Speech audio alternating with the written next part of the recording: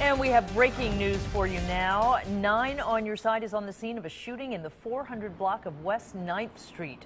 These are live pictures from the scene, which is outside an apartment high rise. A man was shot there after 10 o'clock, and police are looking for three men in the shooting.